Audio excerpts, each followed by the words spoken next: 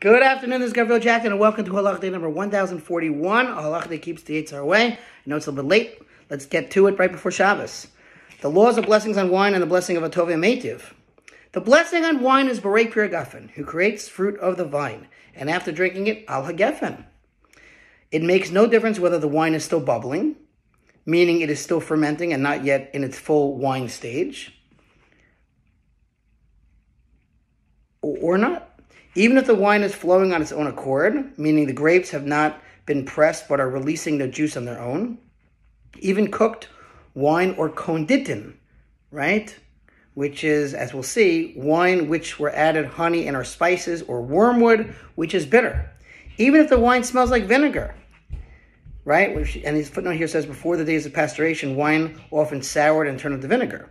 As long as, as it has the taste of wine, it is considered wine as far as its blessing is concerned.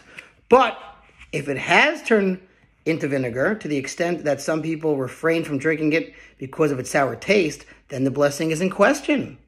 And although you can say the blessing Shehakol, meaning it downgrades the blessing before drinking it, there is still a question about the after blessing.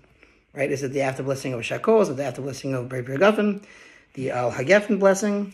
Therefore, you should not drink it unless you first make a blessing over good wine and drink that first. And that was your luck. Thanks for listening to Sponsor Feature Luck 36 100 for the gold. Have a good Shabbos. See you tomorrow.